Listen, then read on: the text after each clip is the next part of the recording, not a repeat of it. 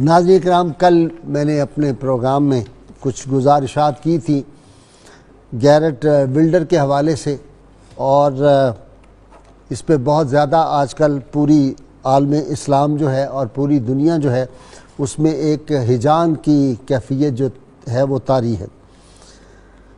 مولانا ظفر علی خان نے کیا اچھی بات کی تھی کہ زکوٰۃ اچھی، حج اچھا روزہ اچھا اور نماز اچھی۔ مگر میں باوجود اس کے مسلمہ ہو نہیں سکتا، نہ جب تک کٹ مروں میں کھا جائے بتھا کی عزت پر، خدا شاہد ہے کامل میرا ایما ہو نہیں سکتا۔ اور حفیظ جلندری نے بہت خوبصورت بات کر دی، انہوں نے کہا کہ محمد صلی اللہ علیہ وآلہ وسلم، محمد کی محبت دین حق کی شرط اول ہے، اسی میں ہو اگر خامی تو سب کچھ نامکمل ہے۔ ناظرین اکرام یہودی ہمیشہ سے ستیزہ کار رہا ہے، ازل سے تا امروز چراغ مصطفی سے شرار بولہ بھی۔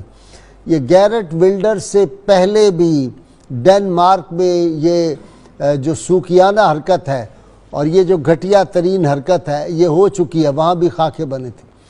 اور اب یہ جو ہالینڈ میں بنائے جا رہے ہیں اور ان کی نمائش کا اہتمام کیا جا رہا ہے، ناظرین مال میں اسلام میں ایک بہت بے چینی کی کیفیت پائی جاتی ہے اور الحمدللہ اللہ کا شکر ہے کہ پاکستانی حکومت، وزیر اعظم نے اور وزیر خارجہ نے وہاں کے وزیر خارجہ کو فون بھی کر دیا، ہماری اسمبلیوں نے قرارداد بھی متفقہ پیش کر دی جو پاکستانی حکومت کر سکتی تھی اور وزیر اعظم نے یہ جو اعلان کیا کہ ہم اس کو او آئی سی میں بھی معاملے کو لے کر جائیں گے اور اس کا اجلاس بلائیں گے اور اسی طرح یو این او میں وزیر اعظم جا رہے ہیں۔ اللہ تعالیٰ ان کو توفیق دے۔ کہ وہ جا کے جرت سے عالم اسلام کا جو مقدمہ ہے، نبی کریم صلی اللہ علیہ وسلم کی ناموس کے حوالے سے یہ پیش کر سکیں۔ میں ایک بات کہنا چاہتا ہوں، بہت درد دل کے ساتھ۔ کسی سے کوئی رکابت ہماری کیا ہو سکتی ہے؟ ہماری کوئی سیاسی جماعت، کسی سے کوئی تعلق نہیں۔ ہماری جماعت ایک ہی ہے، ساری زندگی نبی کریم صلی اللہ علیہ وسلم کی ناموس کی حفاظت کی، جنگ لڑتے ہوئے گزر گئی۔ اور آخری سانس بھی اللہ تعالیٰ اسی پہ قائم رکھے۔ نبی کریم صلی اللہ علیہ وسلم کی ناموس کی حفاظت سے بڑھ کر دنیا میں کوئی اور کام نہیں۔ ختم نبوت کی حفاظت سے بڑھ کر کوئی کام نہیں۔ لیکن میں بڑے آجزانہ گزارش کروں گا، یہ جو اب پاکستان میں جلسے جلوس ہے ان کا کوئی مقصد بنتا نہیں۔ یہ وقت کا ضیاع ہے، یہ پیسے کا ضیاع ہے۔ اگر کرنا ہے تو کرنے کے کام یہ ہیں کہ جو مسلمان دنیا بھر میں ہیں، جہاں جہاں ہیں، ایک تو غیر ممالک کے مسلمان جو ہیں، ان سے میری گزارش یہ ہے، ہمارا پروگرام پوری دنیا میں دیکھا جاتا ہے۔ اپنے اپنے علاقوں کے جو پارلیمنٹیرین ہیں، وہ مسلمان ہوں، وہ غیر مسلمان ہوں، چاہے یہودی بھی ہوں ان کو جا کے یہ بات سمجھائیں کہ ڈیڑھ ارب مسلمانوں کے دل جس ہستی کے نام کے ساتھ دھڑکتے ہیں، جن کی زبانیں صبح و شام اس سے لذت آفری اور لبریز ہوتی ہیں ان کے ذکر پاک سے، ان کی شان پاک میں گستاخی کی جا رہی ہے۔ ایک عام آدمی کی توہین یورپ میں کرنا جو ہے وہ جرم ہے اور اس ہستی پاک کی شان پاک کے خلاف بات ہو رہی ہے، جو ڈیڑھ ارب دنیا کے مسلمان جو ہیں، ان کی جان، مال، اولاد سے بڑھ کے ان کو زیادہ عزیز ہے ایک تو یہ موومنٹ کرنی چاہیے۔ دوسرا، یہودی کا سب سے بڑا علاج جو ہوتا ہے، وہ ہوتا ہے کہ اس کی مصنوعات کا بائک آؤٹ کر دیں۔ اگر یہ سارے دنیا کے مسلمان مل کے یہ کام کر دیں، تو اس سے بڑا اور کوئی کام اس وقت نہیں ہے۔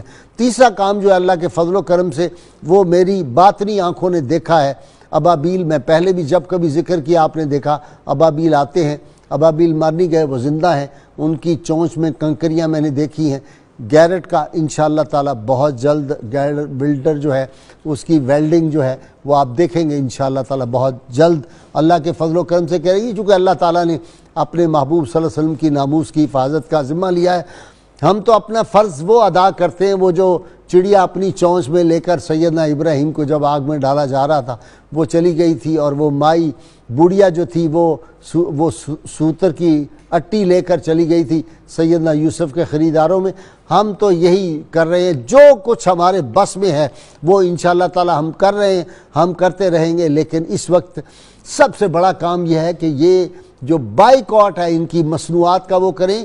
یہودی کبھی معاشی جو ہے، اور یہ وہ قوم ہے جن کو اللہ تعالیٰ نے جن پہ ذلت مسلط کر دی گئی، یہ وہ قوم ہے جس نے انبیاء کرام کو قتل کیا تھا، انبیاء کرام کو شہید کیا، ان کو عزیتیں دی۔ یہ ہر دور کی سب سے بڑی شرارتی قوم ہے۔ انشاءاللہ تعالیٰ وہ وقت آئے گا۔ ابھی تو میں پھر بھی کہہ رہا ہوں کہ تھوڑا یہ انسان کے بچے بن جائیں، ورنہ پھر ہم وہ ساری باتیں کھولیں گے۔ یہودی پروٹوکول کیا ہیں وہ ساری پول والی کتاب بھی آئے گی۔ پھر دی ریچول مرڈر کی بھی بات ہوگی اور پھر پونز ان دا گیم بھی ہوگی۔ یہ ساری یہ ساری کتابیں اس آجز کے سینے میں ہیں اور یہ پڑھی ہوئی ہیں، جن کے نام بھی نہیں لوگوں نے سنے ہوئے۔ وہ ساری پڑھی، ان کی سب سازشوں کو ہم سمجھتے ہیں۔ سولہویں صدی عیسوی میں ان کی جو چیف تھی، اپنا تھنک ٹینک جو تھا اس نے کیا کیا پلاننگ بنائے تھے وہ بھی ہمیں سارے پتہ ہے۔ ناظرین اکرام، اس لیے میری اپنے مذہبی رہنماؤں سے بھی گزارش ہے۔ اللہ کے واسطے وہ بڑی اچھی بات کی تھی۔ جب مولانا شوکت علی سے پوچھا ایک صاحب نے محمد علی جوہر کے بھائی سے کہ آپ پہلے تو قائد ان کے خلاف تھے تو پھر بعد میں آپ ان کی تعریف کرتے ہیں صبح و شام۔ تو انہوں نے کہا، بھائی، بات یہ تھی، ہم سے غلطیاں ہوئیں۔ تحریک خلافت میں بھی ہم سے غلطی ہوئی تحریک ترک موالات میں ہم سے غلطی ہوئی۔ تحریک ہجرت میں بہت بڑا نقصان ہوا۔ لیکن اب ہم سمجھتے ہیں کہ وہ شعبہ ہمارا نہیں تھا۔ یہ محمد علی جوہر کا شعبہ ہے کہ وہ سمجھتے ہیں کہ انٹرنیشنل یہ جو کانسپریسیز کیا ہیں، قانون کیا ہے، تو خدا کے لیے ان سے مشورہ کریں جن کو اس کا پتہ ہے۔ یہ جو کانسپریسیز ہیں، ان کا علاج کیسے کرنا ہے؟ یہ نہیں ہر آدمی اٹھ کے وہ سمجھ رہا ہے کہ میں بہت بڑا حکیم بن گیا ہوں۔ ہولو کاسٹ یہ جو یہودیوں کو اس وقت نازیوں نے مارا تھا اور جس طرح وہ کہتے تھے کہ ہم پہ ظلم ہوا ہے، وہ بھی تنگ آئے ہوئے تھے پوری دنیا میں۔ آپ اس وقت بھی دیکھیے، اسی لیے ان کو مارا گیا تھا کہ جو جنگ کر رہی تھی، دونوں متحرب قوتوں کو اسلحہ یہ سپلائی کر رہے تھے، پیسے یہ دیتے تھے، ان کو قرض دے کے لڑاتے تھے۔ عراق اور ایران کو اتنے سال یہودیوں نے لڑایا، سعودی عرب، یمن کو یہ لڑا رہے ہیں، مسلمانوں کو یہ لڑا رہے ہیں۔ پیچھے ہر جگہ دنیا میں جہاں شر، فساد آپ کو نظر آئے گا، اس کے پیچھے یہودی ہوں گے۔ ہولو کوسٹ جو کچھ ہوا تھا، وہ ان کے ساتھ درست ہوا تھا۔ یہ ہولو کوسٹ انشاءاللہ تعالی پھر ان کے ساتھ ہوگا۔ یعنی ہولو کوسٹ کی بات نہیں کر سکتے۔ کوئی یہ نہیں کہہ سکتا کہ جی یہودی ساٹھ لاکھ، پچاس لاکھ نہیں مارے گئے تھے۔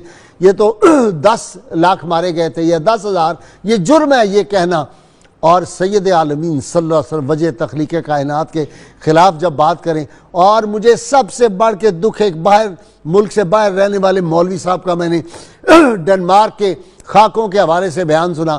وہ کہتے ہیں کہ یہاں پہ کوئی احتجاج کا کوئی ضرورت نہیں ہے، خدا کا خوف کریں۔ میں ان لوگوں سے کہتا ہوں نموس رسالت پہ سودے بازی مت کرو، اس کو چندوں کا ذریعہ نہ بناؤ۔ اس کو اپنی ذاتی شہرت ناموری کا ذریعہ نہ بناؤ۔ رسول اللہ صلی اللہ علیہ وسلم کی ناموس اور عزت پہ کام کرو اخلاص کے ساتھ۔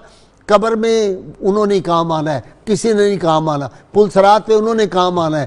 وہ حوض کوثر پہ انہوں نے کام آنا ہے۔ جہنم سے ان کی شفاعت سے ہی بچنا ہے۔ ناظرین کرام، انٹرو، بعض اوقات میرا لمبا بھی ہو جاتا ہے، لیکن میں کیا کروں؟ میرا دل یہ چاہتا ہے کہ آج کل سب سے اہم موضوع جو ہے وہ یہ ہے اور